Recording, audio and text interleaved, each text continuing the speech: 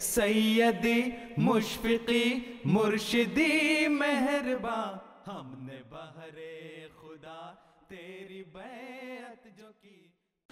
جہاں تک یہ سوال ہے کہ دوسرے مسلمانوں کو اس تعلیم کے مطابق ہم کس طرح قائل کریں گے؟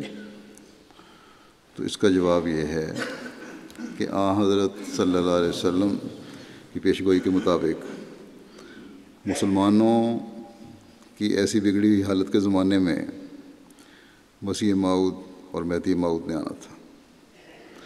اور مسلمانوں کی بھی اصلاح کرنی تھی۔ اور دوسری دنیا کو بھی اسلام کا حقیقی پیغام پہنچانا تھا۔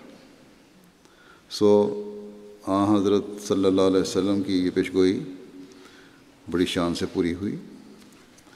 اور